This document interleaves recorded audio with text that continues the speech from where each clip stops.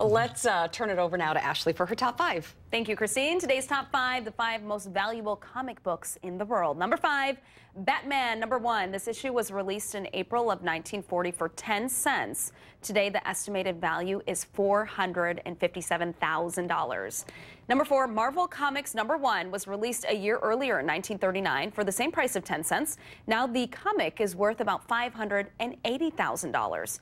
Number three, the same year Superman number one was released for a dime for each copy. Today, the estimated value is close to 630,000. Number two, we now take a big jump in profit. Detective Comics number 27 sold in 1939 for 10 cents. Now it's valued at $3.3 million. And number one, Action Comics number one takes the top spot. Again, purchased for just 10 cents in 1938 now worth more than $3.4 million. It is widely considered both the beginning of the superhero phenomenon and the most valuable comic book of all time. It's estimated that only 50 to 100 original copies of Action Comics number one still exist. Wow.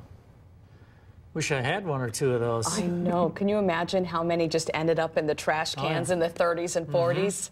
Mm-hmm. Yeah. If they only knew. Yeah, oh. and you know there are a few laying around in people's attics right now. Oh, sure, yeah. They don't know them. Yep, it's just amazing what you find when you go through somebody's life, you know, in an attic. You mm-hmm. never know. That's why estate sales can turn out to be treasure hunts, too. Mm-hmm.